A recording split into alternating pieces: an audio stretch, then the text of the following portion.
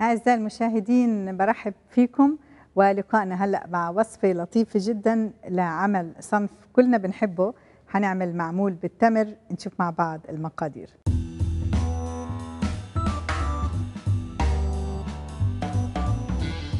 معمول تمر 2 كوب زبدة لينة كوب زيت ذرة نصف كوب جيمر 2 حبة كبيرة بيض كوب سكر ناعم بودرة ملعقة صغيرة فانيليا سائلة ستة ونصف كوب دقيق ملعقة صغيرة خميرة فورية ناعمة 2 ملعقة صغيرة baking powder رشة صغيرة ملح وكوب من الحليب المجفف.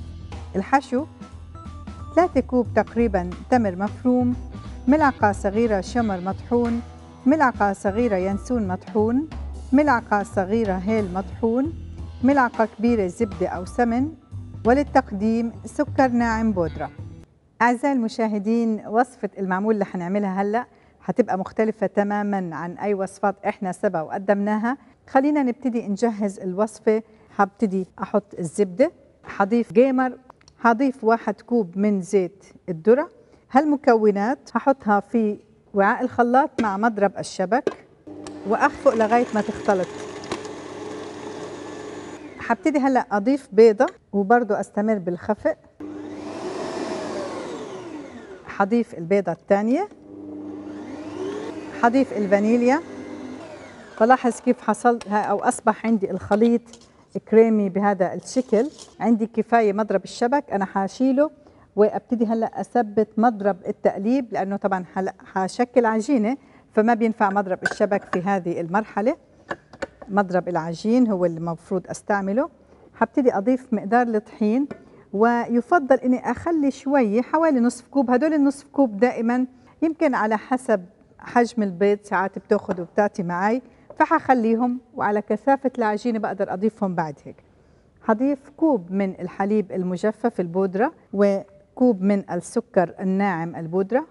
هحتاج ملعقة صغيرة من الخميرة. و2 ملعقة صغيرة من ال baking powder وحنحتاج رشة من الملح.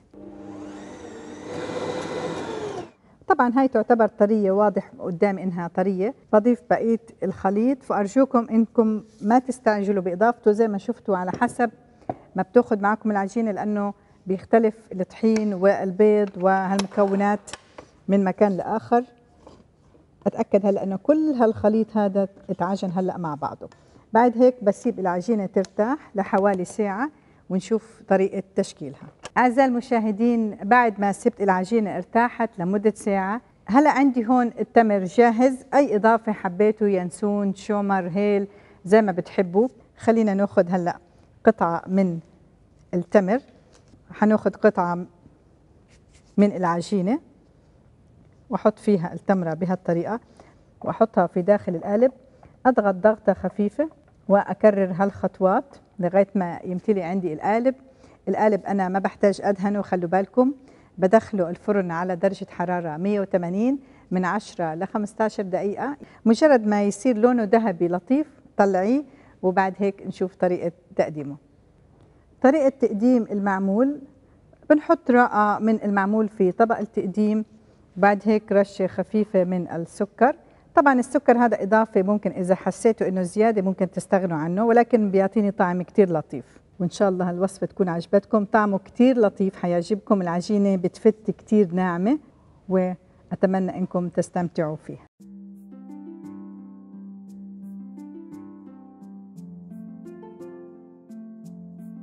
فضلا لا تنسوا الاشتراك بالقناة وتفعيل جرس التنبيهات.